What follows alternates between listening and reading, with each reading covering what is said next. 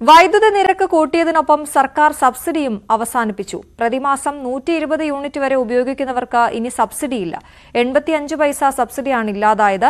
വൈദ്യുതി നിരക്ക് വർധനവിനെതിരെ ഡിസിസികളുടെ നേതൃത്വത്തിൽ വൈകിട്ട് പന്തംകുളത്തി പ്രകടനം നടക്കും. ഇന്നലെയാണ് യൂണിറ്റിന് ഇരുപത് പൈസ വർദ്ധിപ്പിച്ച് റെഗുലേറ്ററി കമ്മീഷൻ ഉത്തരവിറക്കിയത്. ഐശ്വര്യ അനിലിന്റെ റിപ്പോർട്ട്.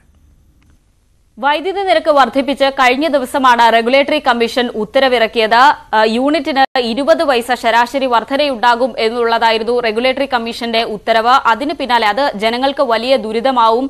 അതിന് പിന്നാലെയാണ് ഇപ്പോൾ ഈ സർക്കാർ നൽകിയിരുന്ന സബ്സിഡി കൂടി ഇല്ലാതാക്കിക്കൊണ്ട് ഉത്തരവ് വരുന്നത്. മാസം നൂറ്റി ഇരുപത് യൂണിറ്റ് വരെ ഉപയോഗിക്കുന്നവർക്ക് നവംബർ ഒന്ന് മുതൽ സബ്സിഡി ഉണ്ടാകില്ല എന്നുള്ളതാണ് ഉത്തരവിൽ പറയുന്നത്. എൺപത്തിയഞ്ച് പൈസയാണ് എൺപത്തിയഞ്ച് പൈസ സബ്സിഡിയാണ് ഇതോടെ ഇല്ലാതാകുന്നത്. ആദ്യ നാൽപ്പത് യൂണിറ്റിന് നൽകിയിരുന്ന മുപ്പത്തിയഞ്ച് പൈസ സബ്സിഡിയും ഒപ്പം നാൽപ്പത്തി ഒന്ന് മുതൽ നൂറ്റി ഇരുപത് വരെ യൂണിറ്റിന് നൽകിയിരുന്ന അൻപത് പൈസ സബ്സിഡിയും ഇല്ലാതാകും. ഫിക്സഡ് ചാർജിലും പ്രതിമാസം ഇരുപത് രൂപ സബ്സിഡിയായി നൽകിയിരുന്നു. അതും ഇതോടെ ഇല്ലാതാവുകയാണ്. രണ്ടു മാസത്തെ ബില്ലെടുക്കുമ്പോൾ ഇരുന്നൂറ്റി നാൽപ്പത് യൂണിറ്റ് വരെ ഉപയോഗിക്കുന്നവർക്ക് ആനുകൂല്യം ലഭിക്കുമായിരുന്നു. ഈ ആനുകൂല്യങ്ങളെല്ലാം ഇതോടെ അവസാനിക്കുകയാണ്. സബ്സിഡി പൂർണമായും ഇല്ലാതാവുകയാണ്.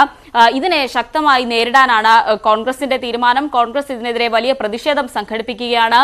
ഡി സി സികളുടെ നേതൃത്വത്തിൽ പന്തംകൊളുത്തി പ്രകടനവും ഒപ്പം തന്നെ വരുന്ന ആറാം തീയതി നിയോജക മണ്ഡലം തലത്തിൽ വൈദ്യുതി ഓഫീസിലേക്ക് പ്രതിഷേധ മാർച്ചും സംഘടിപ്പിക്കാനാണ് കോൺഗ്രസിന്റെ തീരുമാനം. പ്രതിപക്ഷവും ഈ വിഷയം വലിയ രീതിയിൽ ഏറ്റെടുക്കും. ഒപ്പം തന്നെ കെ സി ബിയെ സംബന്ധിച്ചിടത്തോളം ഇത്തരം ഒരു വർധന അത് അഞ്ഞൂറ്റി മുപ്പത്തൊന്ന് കോടി രൂപയുടെ അധിക വരുമാനം ഉണ്ടാക്കി കൊടുക്കും എന്നുള്ളതാണ് കെ സി ബിയുടെ കണക്കുകൂട്ടൽ.